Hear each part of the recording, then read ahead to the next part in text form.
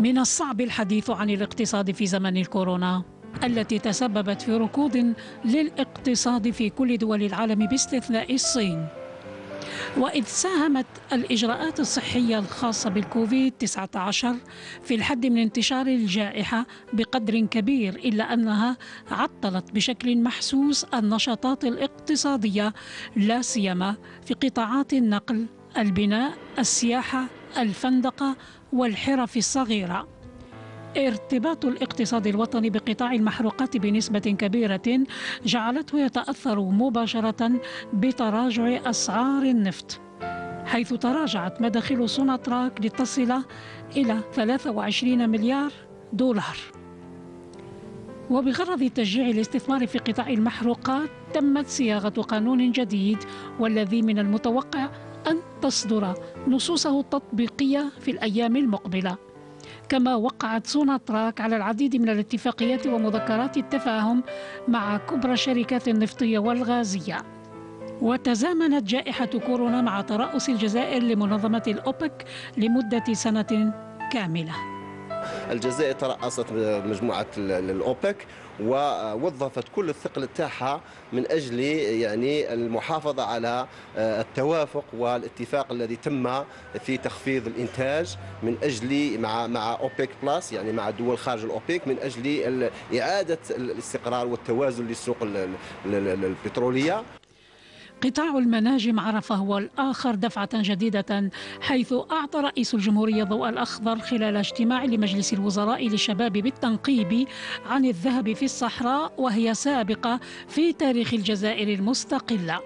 وتسهيلا منها للاستثمارات الخارجية أقرت الحكومة جملة من التدابير أبرزها مراجعة القاعدة 49 51 بالنسبة للقطاعات غير الاستراتيجية.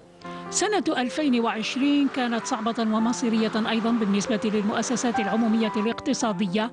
هذه المؤسسات انهارت في أول امتحان لها أمام الجائحة على غرار إنيام اني سيدير كنان والجوية الجزائرية.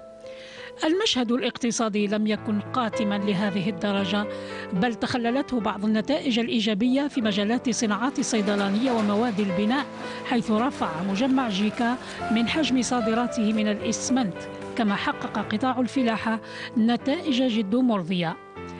قطاع التجارة من جهته خطى خطوات معتبرة في الرقمنة. كوفيد 19 أحدث شللا في الاقتصاد لكن الخبراء يقولون إن الجائحة يجب استغلالها لمراجعة طريقة تسيير المؤسسات الكبرى وتحديد الأهداف الاقتصادية المرجوة. لذا جاء برنامج الإنعاش الاقتصادي للسيد رئيس الجمهورية عبد المجيد تبون. البرنامج متكون من 37 محور موزعين على العديد من القطاعات من بينها المؤسسات الناشئة. وبتعليمات من رئيس الجمهورية استفادت المؤسسات الناشئة من صندوق للتمويل. هذا مشروع آه، اللي أقر به رئيس الجمهورية مشروع بناء وهداف آه، لبناء جزائر جديدة وبناء اقتصاد جزائري 100% وبخصوص السنة الجديدة يبدي الخبراء تفاؤلهم. نتوقع أن الاقتصاد العالمي يبدأ في مرحلة الانتعاش. نتوقع ارتفاع الطلب على البترول وبالتالي ارتفاع أسعار البترول. نتوقع يعني عودة النشاط الاقتصادي إلى إلى إلى إلى الظروف الطبيعية وبالتالي كل هذه العوامل يعني نتوقع أن تكون ظروف اقتصادية أفضل آه، سواء في الاقتصاد العالمي أو بالنسبة لاقتصاد الجزائر. إذا أيام قليلة تفصلنا على بداية سنة جديدة يتأمل فيها المواطنون والخبراء خيرا بالنسبة للجانب الاقتصادي.